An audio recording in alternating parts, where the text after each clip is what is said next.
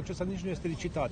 Deci va fi o întrerupere uh, a autostrăzii. Deci, e, deci compania de drumuri pregătește documentația pentru a respecta acordul de mediu dat, nu mai așteptăm alte modificări ale acordului de mediu, am așteptări de la comisie, ca în, de la companie, ca în cursul uh, acestui an să scoată PSA și documentația privind uh, licitarea acelui segment, așa zis uh, E. Până atunci, până atunci, însă sper să descoper că cei de la Comsa se vor uh, fi mobilizat suficient de bine ca măcar în situația în care vom deschide lotul 4 să avem descărcare la capătul lotului 3 încât să mai folosim cei 20-25 de kilometri de autostradă.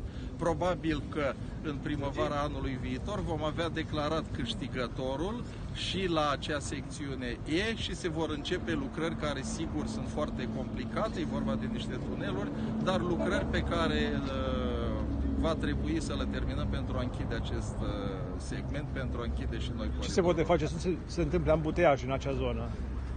Am uh, cerut companiei încă de la în primele vizite din primăvară să consolideze segmentul de drum național. Probabil că va fi nevoie de un management al traficului mai intens. Aici atât poliția rutieră cât și autoritățile locale au uh, rolul lor, dar până în acea situație eu uh, mă strădui să imprim un ritm corespunzător pentru a finaliza ceea ce este început și de asemenea să depunem proiecte ca la începutul uh, anului viitor să deschidem alte șantiere. Există aceste premise, este vorba de centura Bacău, este vorba de cele două loturi de pe Pitești Craiova, mai sunt și alte șantiere care pot fi deschise, de exemplu chiar și podul de la Brăila. Astăzi au terminat lucrările și la centura care cei de la companie, începând uh, de mâine vor uh, demara procedurile de recepție.